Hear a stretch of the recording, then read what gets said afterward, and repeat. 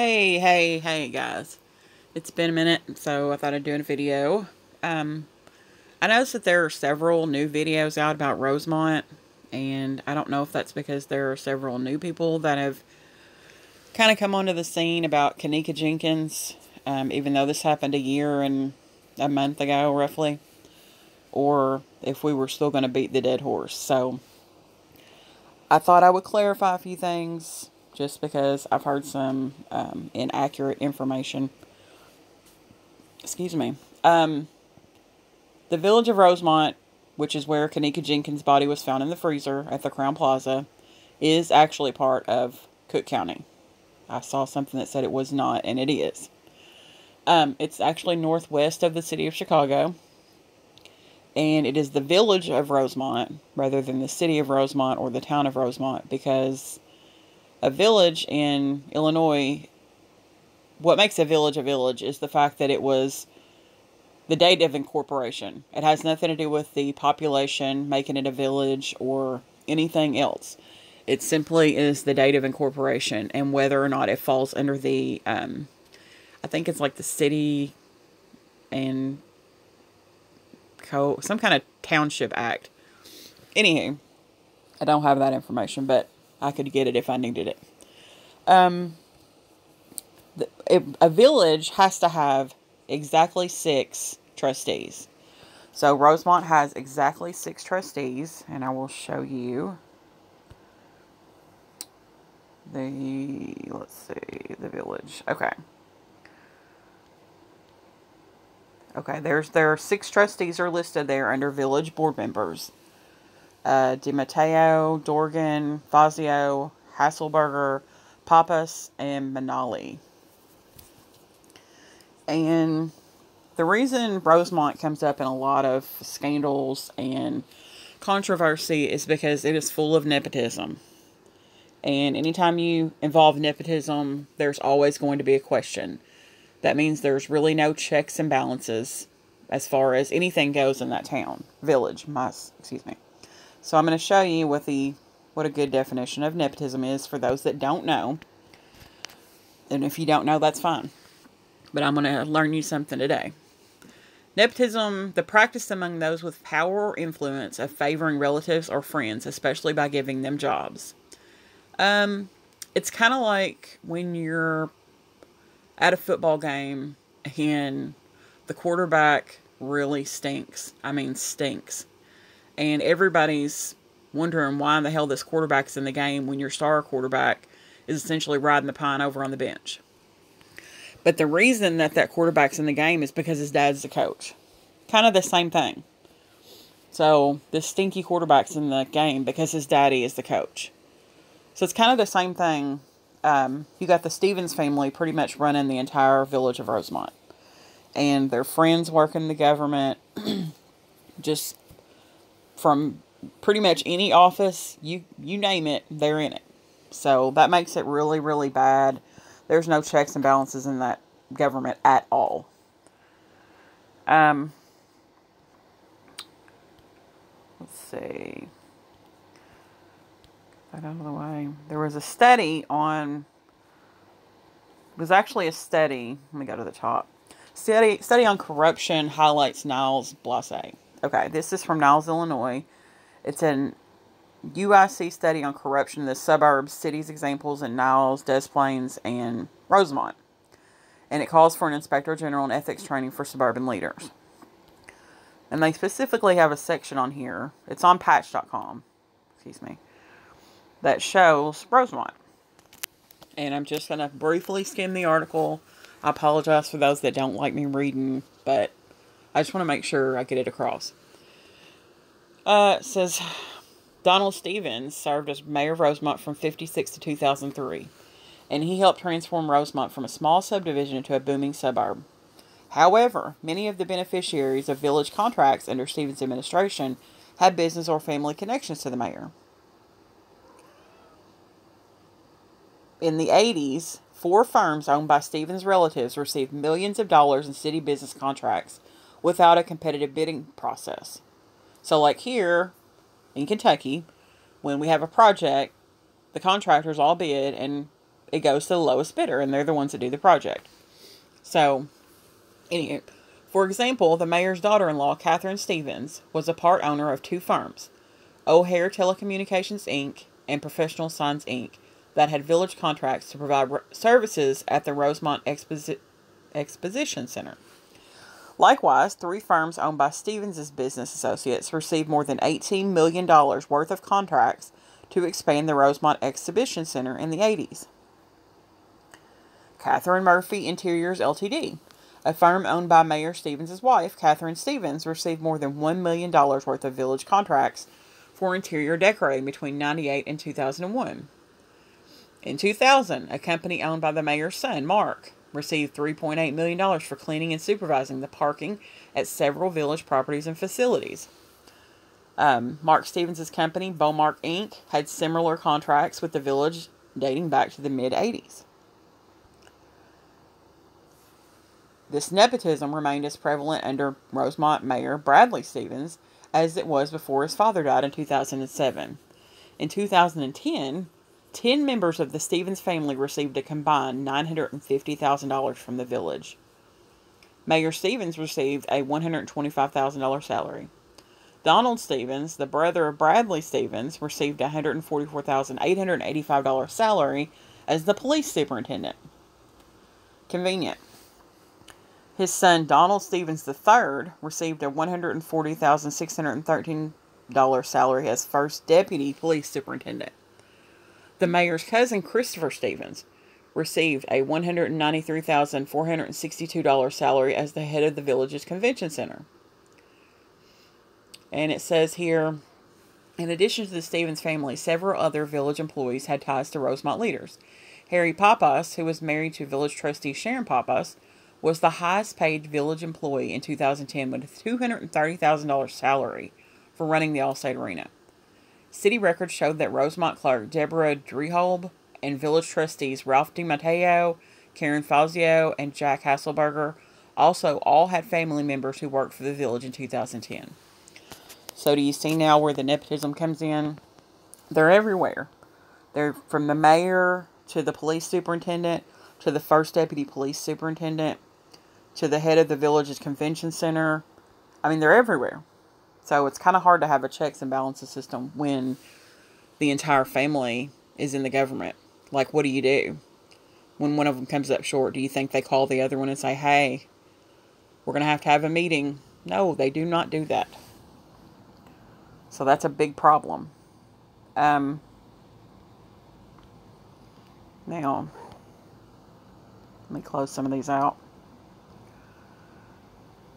Um, you know, there's a lot of conspiracy theories, if you will, about the Kenneka Jenkins case. And you can pretty much back up several of those with actual facts. That's what makes this case so unique. Um, strangely unique. But, um, for example, you know, they had the body brokering thing there that um, was uncovered Biological Resource Center of Illinois. And that actually happened there. So you can use that information to kind of go with the theory of it was body stuff going on, body snatching. Um, this is from the ABC 7 News out of Chicago. And I can show this video if it'll let me. Developing tonight, we have new details about the alleged sale of body parts. The feds are leading an ongoing investigation here in the Chicago area, as well as in Detroit and in Phoenix. You might remember back in January, federal agents raided businesses in Rosemont and in Schiller Park. Eyewitness News reporter Eric Horng has been digging through some newly unsealed documents. Eric? Alan, selling human remains is not illegal in itself, but federal authorities say those businesses misled donors and knowingly sold body parts that were infected with disease. On a cold day last January, federal agents swarmed two suburban businesses, a Schiller Park crematorium and the Rosemont office of Biological Resource Center of Illinois, which arranges body donations for medical research. These newly unsealed federal documents detailing what was allegedly found. Thousands of body parts and tissue samples, everything from heads and hands to legs and torsos, all part of an alleged body broker ring that illegally obtained and sold human remains on the black market. Federal authorities say the operation came to light after scores of body parts were found on ice instead of embalmed in warehouses in Detroit and Phoenix. Some of the remains infected, documents show, with HIV, hepatitis, and other diseases, but nonetheless sold for medical training to hospitals and doctors in the U.S. and overseas. The feds say those body parts were supplied by Biological Resource Center of Illinois and that the company lied to its donors, promising remains would not be sold. But financial records obtained in those January raids show whole corpses were routinely routinely sold for $5,000, arms for 750, and heads for 500. Named in the documents are the father and son owners of Biological Resource Center and that Schiller Park crematorium, Donald A. Green and Donald A. Green II. Their attorney in an email tonight saying there is significant information missing from the affidavit that provides a fuller picture of the standards and practices employed by BRCIL. Those standards and practices are in line with industry standards. That attorney says Biological Resource Center has been cooperative with investigators. Those documents are related to the search warrants that were executed, not a criminal complaint, and no charges at this time have been filed. Cheryl, back to you in the studio. All right, Eric, thank you. So, that kind of gives you um, the example of the body brokering and where that came in. A lot of people on that conspiracy side think that Kenneka was sold um, to someone. And the reason that that comes up is because there was a body broker ring that originated, well, maybe not originated, but was actually run out of Rosemont, the village of Rosemont, out of a business called Biological Resource Center of Illinois. And you'll also hear the names um, Donald A. Green and Donald A. Green II come up. Um, a lot of people say they've identified them on camera on the videos that were provided by the Crowne Plaza. Not saying it did or didn't happen. I'm just telling you where that kind of came from. Um, I watched Azaria's, I think that's how you say her name, Azaria's video where she had a breakdown of epic proportion and said that um, Kenneka was a victim of gang stalking. And, you know, a lot of people don't even know what gang stalking is. So I kind of wanted to touch on that. Um, this kind of gives you this. I'll just read this story to you. I live at a lovely lake community where many wonderful people live. However, amid all of the wonderful people is a group of at least eight misguided and sadistic people who have chosen to gang stalk two of their original or two of their other neighbors on the block. Gang stalking is a known phenomenon which can be difficult to believe and even harder to prove. It involves a group of people who band together for the purpose of targeting another individual or individuals in order to control aspects of their targets, victims, lives and to monitor them 24 7. I have been witnessing this happening to my friends since June the 1st, but they have been experiencing the daily stalking since 2011. The victims of the gang stalking have tried seeking relief through police reports and civil complaints that have gone to court, but nothing has changed. My friends have had their house up for sale for over a year because they feel it is the only way to escape the daily starting daily staring and leering and name calling that they hear as soon as they step out onto their own deck. The gang has even gone so far as to call the police to make a false report against my friends in an attempt to get them in trouble. We wonder what they will do next. My friends have had no privacy in their own home for nearly two years now. The main perpetrator in the gang has deliberately turned his yard across the street into a terrible eyesore, which is intended to make it harder for the victims to sell their lovely lakefront home. Why would a group of seemingly normal adults in their 40s, 50s, 60s, and 70s band together for the purpose of taunting and harassing two other senior citizens? I wish I knew. Because the gang's behaviors are not, quote, criminal acts, the police are limited as to what they can do, and the matter is complicated by the fact that the foremost member of the gang has a family connection with the local police department. Because I see and know what is going on, I have spoken with several with some other lake residents who thus far are unable to believe what I tell them. Sadly, the gang members have told so many lies to so many other residents that they mistakenly believe that my friends are the troublemakers, when in fact they are just trying to cope with the daily taunting without becoming even more distressed and depressed about it. I continue to advocate for my friends and have sought assistance from various local, county, and state agencies. I would ask that everyone who reads this letter please try to keep an open mind and please do not condemn my friends whose lives have been nearly destroyed by their own neighbors. Neighbors.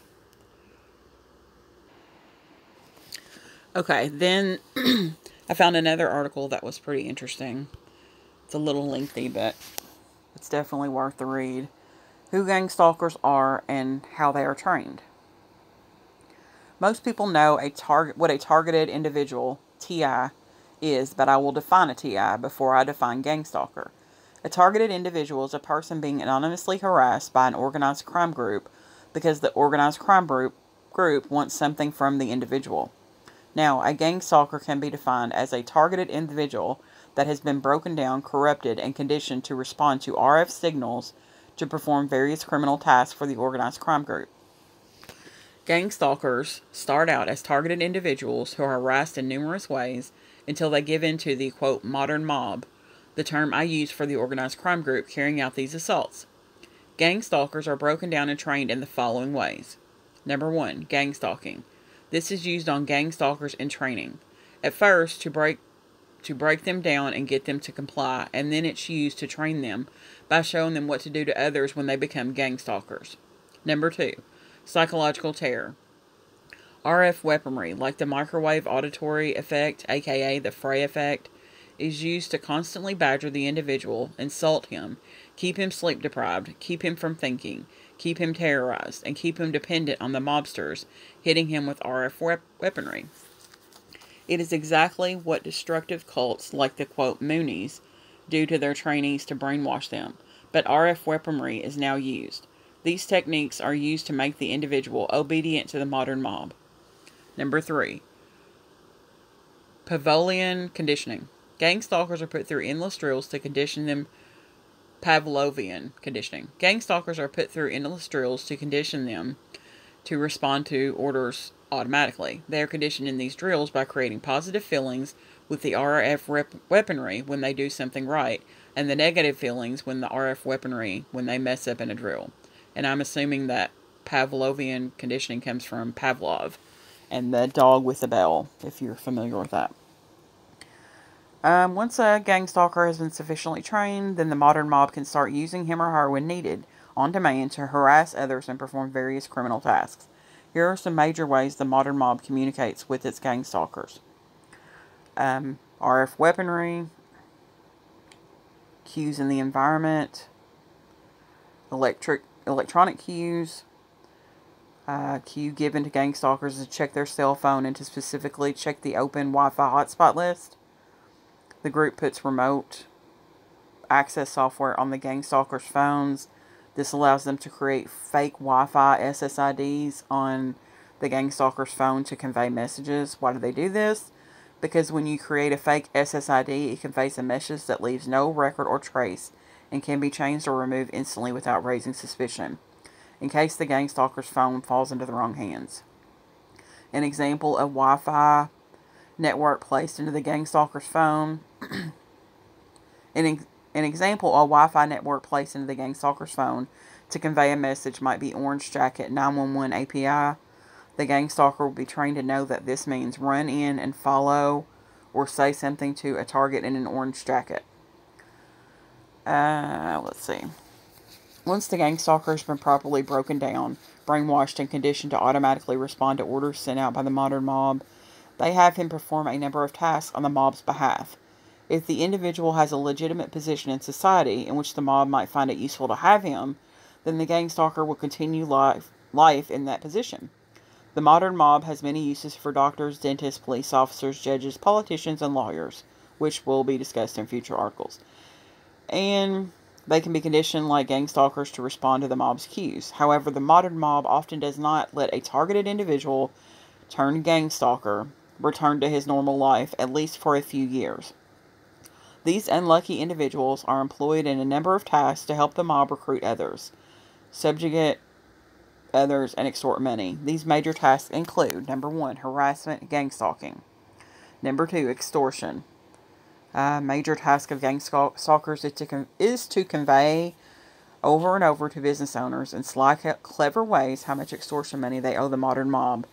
For example, if a store owner is being extorted for $3,000, then countless gang stalkers will enter the business and buy three of an unusual item, ask for three business cards, wear a jersey with a number three, or carry three bags with them. This can go on for months with the clever means of execution are endless. Theft of keys. There's even a key icon in, on most T-Mobile phones and Intel PCs where the gang stalker's attention is focused by RF cues time and time again. The modern mob likes to supplement its on, anonymous harassment and RF weaponry assaults with the ability to break into the targeted victim's home. This allows the mob to instill an extra sense of terror in their targets in order to bend them to their will. Most oftentimes, a gang stalker will simply be directed to steal small items like deodorant from a target's car or home, or just send a message of terror to break them down and make them sound crazy if they report it as stolen. I hope this gives you a better understanding of the modern mob and the system they have in place to spread their power. So, this is very common. and it's been going on for quite some time. This is not some new phenomenon. Um, but there was another article on here. Let me see if this is it. Yes, this is it. Uh, be aware of human trafficking, gang stalking. This is from October the 15th, 2018. I came to the Garden Island newspaper to inform people of my situation that I'm in so as to help me and others. It's called human trafficking and or gang stalking. It is a billion dollar industry that targets people for various reasons, mostly for criminals, to make money off your life in any way they can. Everyone always asks, who are they? If I knew exactly who they are, I'd be able to get a restraining order. They do the harassment and targeting with many people, which is why it's called gang stalking. There has been a brief story on the news station a few years ago about it.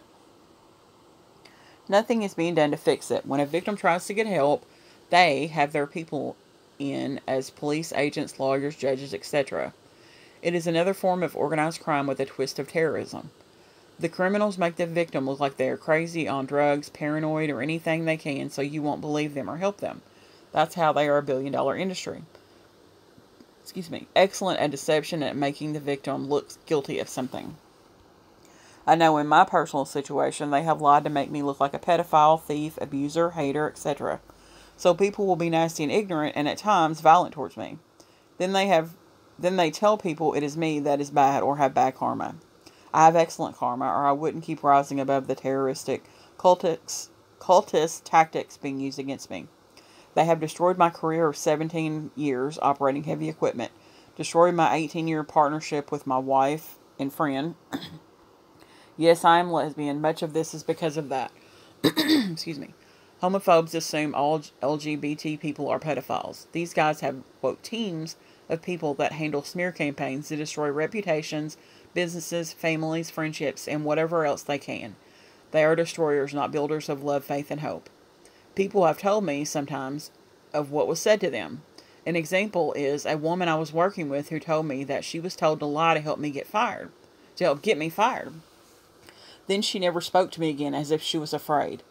Many people have been brave enough to tell me, but many have not.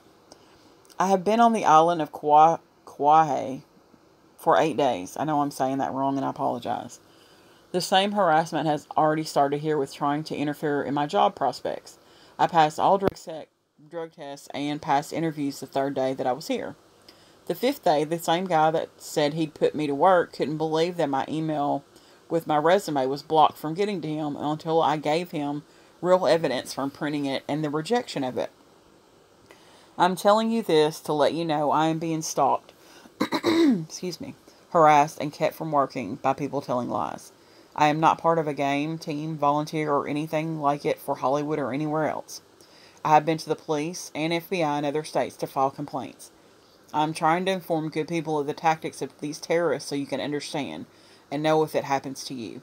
I had a good life with a wonderful wife, an excellent career, lots of family, friends, and activities. All of this has been stolen by terrorists using cult tactics to try to force me to marry a man, have kids, and live a life other than what I have built for myself. I have a rainbow family, a brother in law that is half Japanese, two African American sisters in laws, a nephew in law that is of Mexican descent. There isn't any group that I have been prejudiced against except the people that they are do- that are doing this to me. The they are multicultural. Excuse me again. It's not just one group doing this. In Hollywood, they consider it a quote game to do this to people. Human traffickers don't have age, color, or gender preference. It is evil, and evil doesn't have a color. I'm going to go to a local police to file paperwork. The only thing I can do is give up evidence when it comes up. They ha- they do have professionals who can track the cyber criminals doing the blocking of emails because it, because it gives them numbers and trails to follow. If these things are happening to you, please turn it in and follow through with trying to get these people put in prison where they belong. If any of their lies about me were true, I'd already been in prison. They have the ability to make fake videos, fake news, and fake conversations, all of which I have been told by various people has been done to me. I am here for only good intentions of Highland life of the Aloha spirit with my beautiful future wife. I am looking for steady employment and staying in Kauai. I hope to be able to write more information about these topics from my personal experience of being the victim of gang stalking and human trafficking. so it does happen. So I'm sure you can find that video that Azaria uh, put out I think she did it on like a social media account and someone recorded it. I'm not sure, but I'm sure it can be found.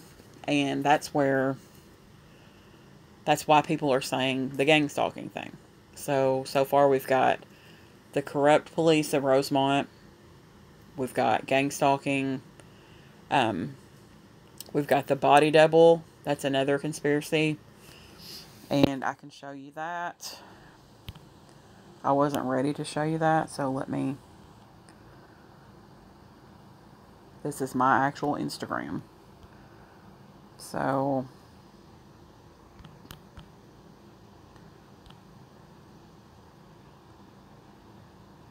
This is one of the girls that they claim was a body double. I'm sorry, I'm losing my voice. I don't know why, but probably because I haven't talked this much in a while. But anywho, uh, this girl is the one that they said was possibly a body double. Um, let me see if I can find some of her pictures here. I don't know if that's her or not. Let me find one of her. Here's one of her.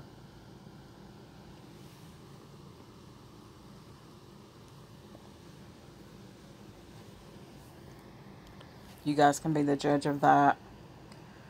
She runs some kind of little clothing store.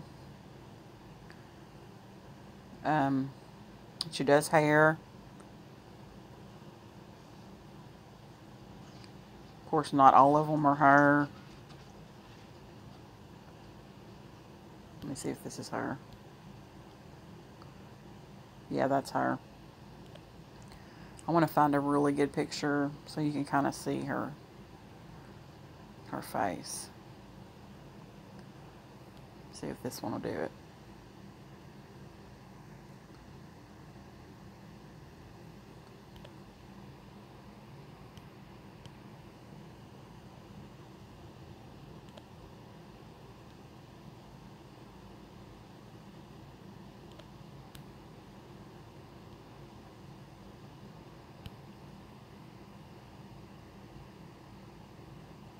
Real classy.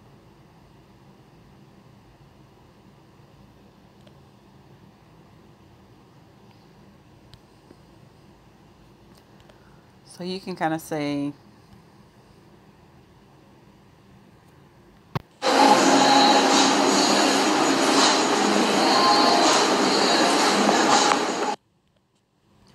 I want some of her older pictures where she doesn't have all that bangs in her face.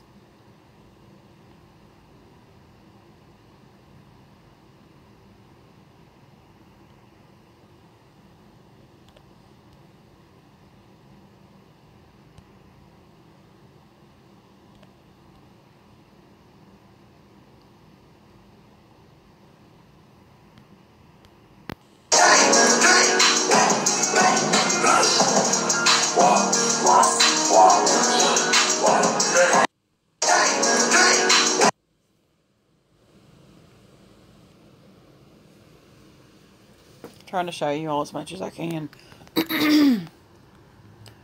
because that's where a lot of the body double stuff came up. Because people were saying that wasn't Kenneka. Because the jacket in the video and the jacket in the picture in the mirror were not the same. So, I mean, I could see similarities between this girl and Kenneka. So, I'm not saying it is or isn't. I'm just showing you where some of these conspiracy theories have come from.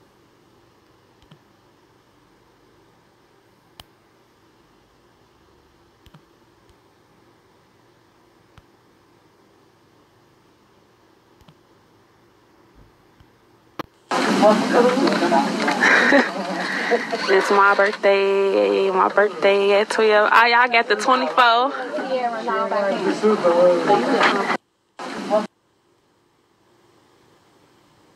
And actually, one of the people that was discussed at the beginning or toward the beginning of the Kenneka case,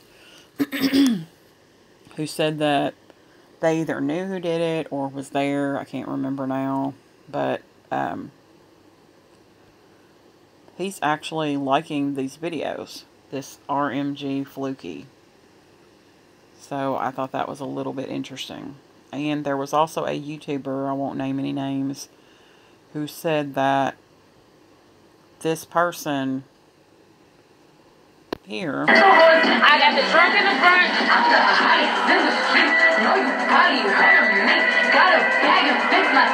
Hope you it ain't. I got the that this girl here, this Victoria Kenneth Jr., um, was actually in pictures with uh, some of Kenneka Jenkins' friends, Shemaya and some of them. So you can see the similarities between this girl and Kenneka. And someone actually commented on um, one of her pictures or videos. That's obviously her there on the right. Someone actually commented on it saying, like, why are you trying to... Something about Kenneka.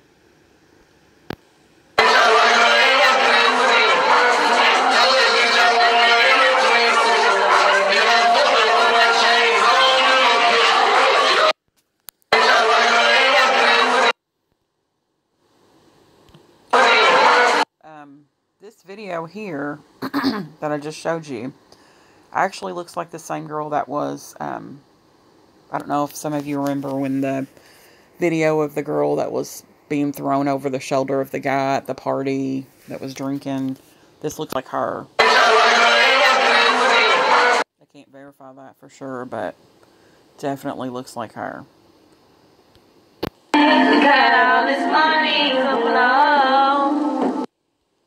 She definitely needs to keep her day job. Singing is not her thing.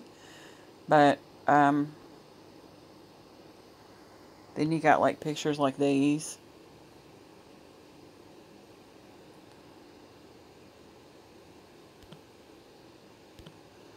Where they're just dressed like that. Some of the older pictures really, really make her look like Kenneka. I'm trying to go back pretty far.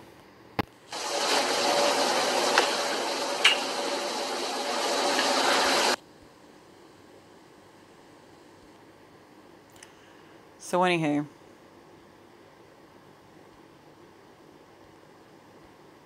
you can go look for yourself and see the similarities. Um, between her and Kenneka. They're there. Definitely there.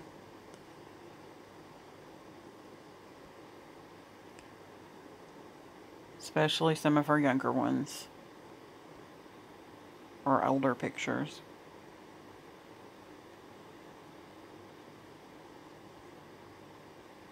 I wish I could find the one I'm trying to show you guys. But anyway, um, and she does have a connection to Chicago. So, found that interesting too.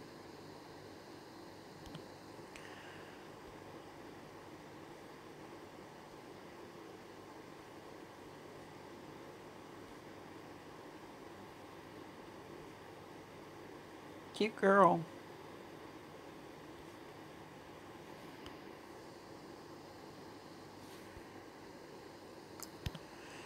I'll probably never find that picture where people were commenting. let me see how far down it'll let me go.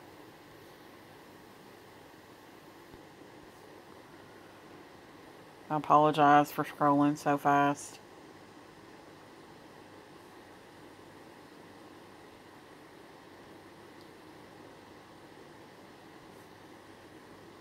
Because it has been a year and a half.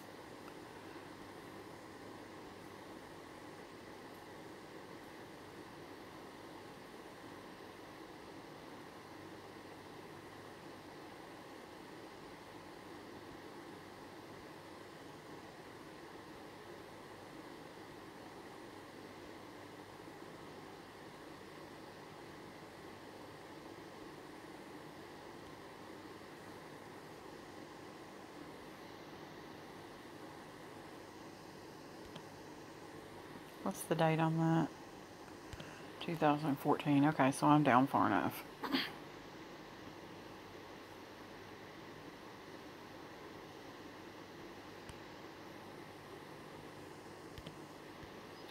So she's definitely a close, not a dead ringer, but a close one.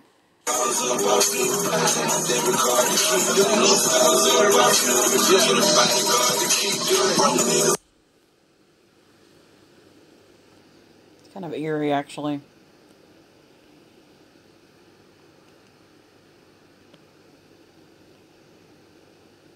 A lot eerie to look at her, but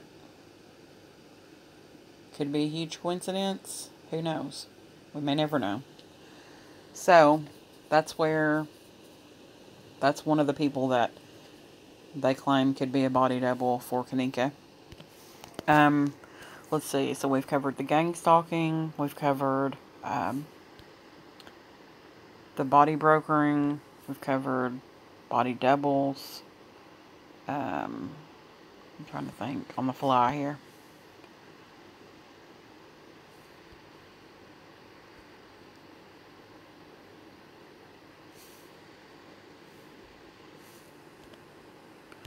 Trying to think on the fly. Um,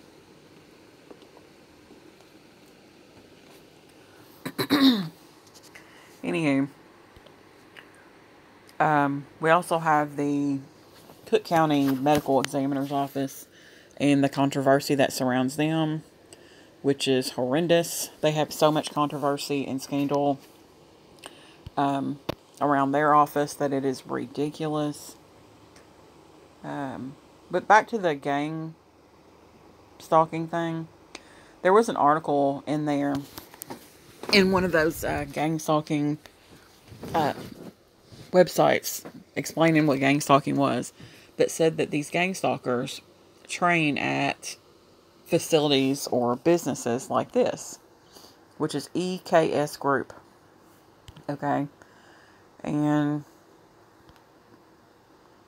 let's see. I found this interesting. EKS Group. It's ba basically like a gang stalking business. Okay? So, I'll tell you what this business is, or what they say they are. It says they provide subject matter expertise with hundreds of years of experience in areas surrounding intelligent operations, intelligence operations, law enforcement, counterintelligence, human intelligence, information operations, counterterrorism, force protection, security matters, international diplomacy, and foreign area knowledge. Um, industry leader for sophisticated physical and technical surveillance operations and training support. They su Our teams perform over 75,000 hours of surveillance work annually with teams across the United States. In conjunction with our government clients, we are placeholders and laying the groundwork for advanced human intelligence training for controlled source operations and are called upon often to provide mobile training teams to coach, mentor, instruct DoD operational teams worldwide, which is Department of Defense. Okay. Now, there is when I went to their careers, I found this extremely interesting. Um, let's see. Apply here. This just sounds okay. Surveillance uh, role player. Let's just click on one of these. I'll do this first one. A surveillance role player. Okay. just look at this. Uh, it's very interesting. Job description. We have excellent opportunity. We have an exciting opportunity. This is a big old page here. Try to make it where everybody can read. We have an exciting opportunity to join EKS Group as a member of surveillance role-playing team conducting static, foot, and vehicle and or multi-mode surveillance of training personnel. We are looking for high energy candidates that can operate in urban and rural environments and under all weather conditions. Okay. The qualifications or skills maintain appropriate level security clearance. High school diploma, generally physically fit with the ability to walk up to 18 miles per day for up to 12 consecutive days, with the ability to drive or ride in a vehicle for up to 12 hours per day. Successful completion of a surveillance operations course, Two years of surveillance role playing experience may be substituted for the formal surveillance operation course requirement. Maintain a valid driver's license, current auto insurance, and a 36 month clean driving history. Ability to read, write, and speak English fluently. Ability to solve practical problems and deal with a variety of concrete variables and situations where only limited standardization exists. Um, all right. Duties. Perform foot surveillance up to six miles per run, up to three runs per day. Perform vehicle surveillance up to three hours per run, up to four runs per day. Da, da, da, I found that to be extremely interesting. Especially if you're going with the gang stalking conspiracy theory on the Kenneka Jenkins case. And if you go with that, then this group is actually a trainer or part of the gang stalking. And this job, six surveillance role players, is very interesting. What is also interesting, and I'm not prepared for this, so if you see a picture that is crazy, just ignore it. um, I have a screenshot of the gentleman that let me see if I can find it. Here he is. This gentleman, um, which is also, I guess, kind of part of the body brokering thing, they, the hotel, the Crowne Plaza, this guy was the director of food and beverage, was a director of food and beverage at the um, Crowne Plaza. Lenny Posias. And if you look down here, if I can get this to pop up, probably won't be able to. If you look, well, I don't have my pencil out. The former, he was former military intelligence at the U.S. Department of Defense. And I thought that was very, very, very interesting. And if you look here, here he is in a picture with NYPD. I mean, who just walks up to the NYPD and takes a picture? I thought that was pretty interesting.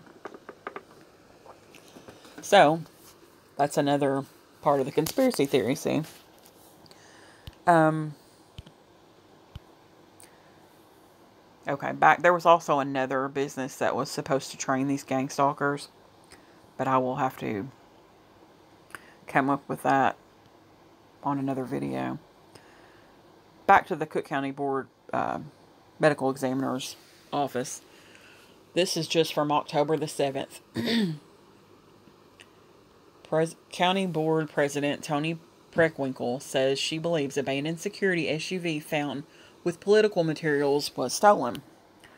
Okay, Cook County Board President Toni Preckwinkle said she believes the county SUV, used nearly exclusively by her security chief and found abandoned in the early morning hours after the 2016 election with campaign materials in the back, was stolen, even though officials never reported it to police. You think it's a little strange? Preckwinkle also said she has not investigated the incident and declined to comment on whether she has asked her security chief whether he placed the political materials in the vehicle, saying she won't discuss personnel matters. So you're telling me that you didn't ask your security chief about an incident that happened uh, two years ago where an SUV was stolen? Come on, man. Come on with the jokes instead reiterated her spokeswoman's statements from earlier in the week that she does not allow county vehicles to be used for, quote, the dissemination of campaign materials, end quote, but doesn't know who placed the materials in the vehicle. Quote, my conviction is that it was stolen, end quote, Preckwinkle, a candidate for mayor of Chicago, said of the vehicle. That's as far as I intend to comment on it. Okay. So, like, that is just the craziest thing I think I'd ever read. Um, you can go and read this article. It was on the Chicago Tribune. I'm sure you can type in her name, and I'm sure a ton of articles will pop up. But she is. Um, I want to make sure I get her.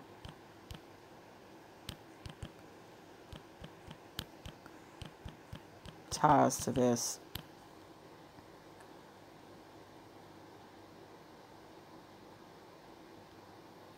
I thought this was interesting.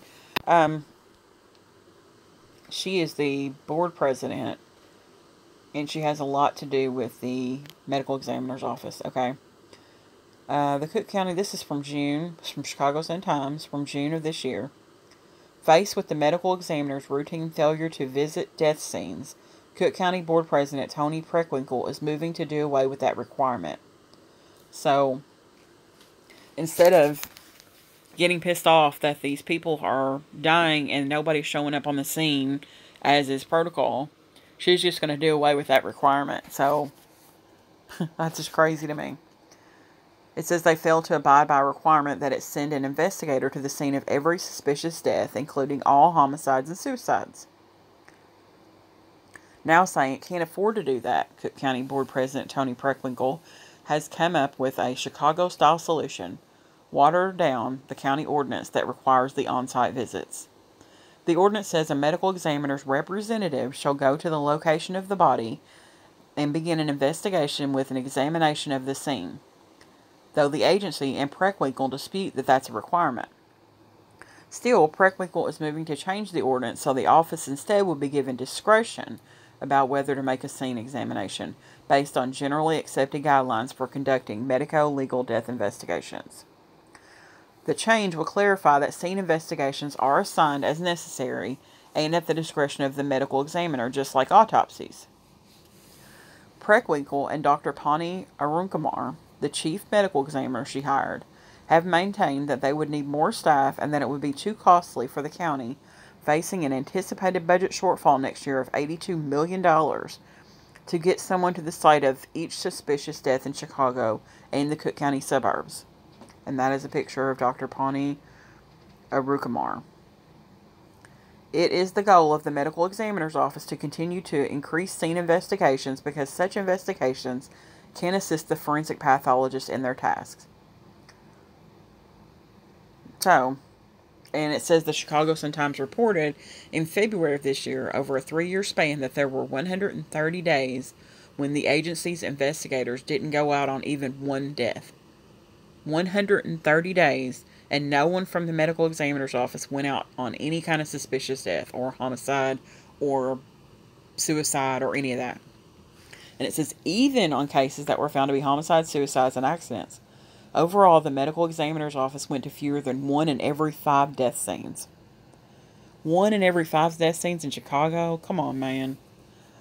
Thousands of bodies a year are brought to the county morgue on the west side so the medical examiner's pathologists can perform autopsies or less intrusive examinations to determine how they died.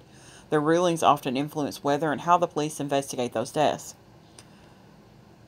Like, just so you can see, obviously, where the Cook County Medical Examiner and the autopsy of Kenneka Jenkins comes into play. If you guys can't even go out and investigate suspicious or homicides or suicide deaths, what else are y'all missing? Like that's just a very basis, very basics of medical examiner stuff. So what else are y'all missing? Are you performing the autopsies or are you saying that you did and not doing it? I mean, you've got a million questions you could ask behind that. So that's where the autopsy um, information that was contained in the autopsy of Kenneka Jenkins, how that comes into question and becomes part of the conspiracy theory. So it's like it's like a perfect storm of conspiracy theories, basically. So anywho, I just thought that I would kind of bring this um, stuff to the forefront. I know it's it's been talked about and talked about to death, but excuse the pun, but um, I know there are a lot of new people coming on the scene and kind of wanted to. I've listened to some of their stuff and read some of their comments in chat, and it's just been kind of going over the same stuff. So, anywho, I know this is kind of lengthy, but I'm going to end it on that note, and uh, I hope you guys enjoyed the video. I'll have another one soon. Bye.